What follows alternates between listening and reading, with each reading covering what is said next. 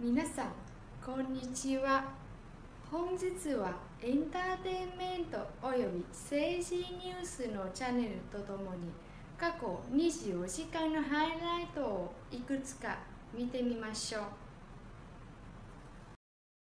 参加者にテーブルコーディネートの意図などを解説する木村文さん、右端、イコール、金沢市高坂2の C の記芸品館で2019年12月8日午後3時33分、安倍博方撮影写真を拡大工芸とテーブルコーディネートの世界を紹介するイベントが8日、金沢市高坂2の C の記芸品館で開かれ、県内外から約40人が参加した。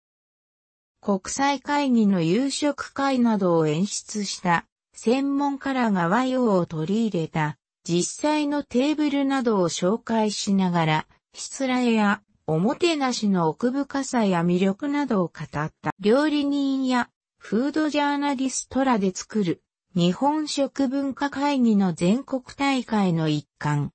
大会では食と工芸をテーマにシンポジウムや食事会など様々な催しが開かれ、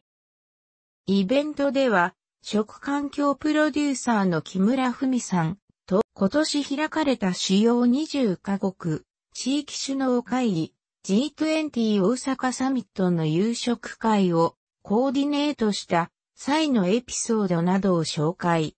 もてなしの場を作るには、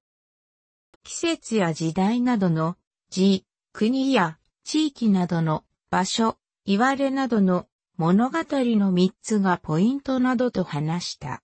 また茶道家の木村総誠さん、京都府実際にコーディネートされたテーブルやヨーロッパの食器などの展示を紹介。金沢市の和菓子店、吉和市の二代目、吉橋甲州さんによる上昇菓子の制作実演もあった。安倍博方